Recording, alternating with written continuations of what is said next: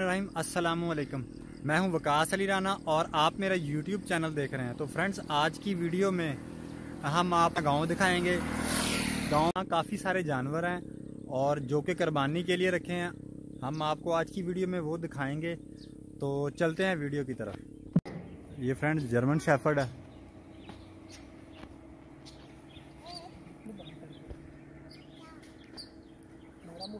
और ये फीमेल है। ये इसका कुत्ते का केज है। और ये मेरा ख्याल तितर है इन्होंने रखे हुए।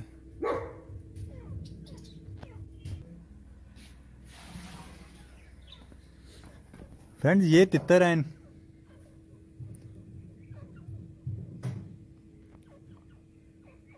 और ये ऊपर तोते हैं। ऑस्ट्रेलियन ये तोते हैं। ठीक है जी।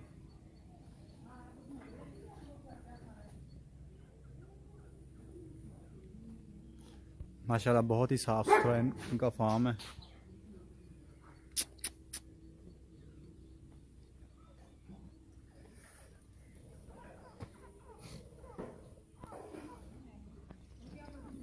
ये जो डॉग है, नए बंदे को आपको पता है कि कैसे रिएक्ट करता है। इसके लिए हम तो नए हैं।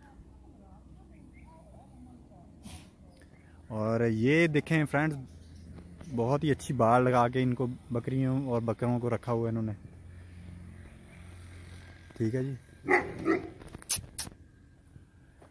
कुत्ता जो है वो मुझे बर्दाश्त नहीं कर रहा। ये जाली लगा के बकरियाँ और बकरे रखे हुए हैं इसमें और खुले छोड़े हुए हैं।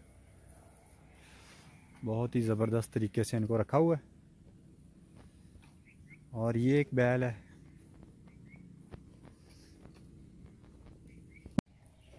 और ये दिन के वक्त इधर इनको बाँध देते हैं।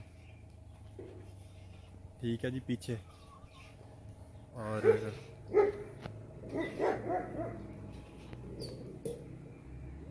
ये बकरा है, ये भी कुर्बानी के लिए। तो फ्रेंड्स कैसा लगा आपको ये सेटअप गाँव का माहौल?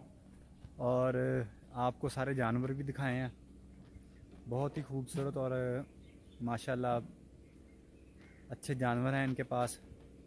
गाय हैं, भैंसें हैं, बकरियाँ हैं और कुर्बानी के जानवर हैं। ठीक है? और कुत और कुत्ते बड़े अच्छी क्वालिटी के हैं।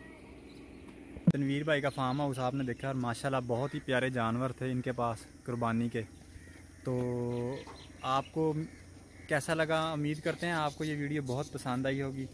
तो अगर किसी भाई को ये जानवर चाहिए होंगे या हमारी वीडियो देख के किसी को कुर्बानी के लिए चाहिए होंगे तो वो साढ़े चार सौ रुपये पर के के हिसाब से भी दे सकते हैं और वैसे भी सेल आउट कर सकते हैं यानी ऑन स्पॉट उसको देख के एंड फाइनल ऑफ़र भी है कि 10 बच्चे सताईस लाख। दस जो हैं जानवर वो सताईस लाख के वो फाइनल कर देंगे।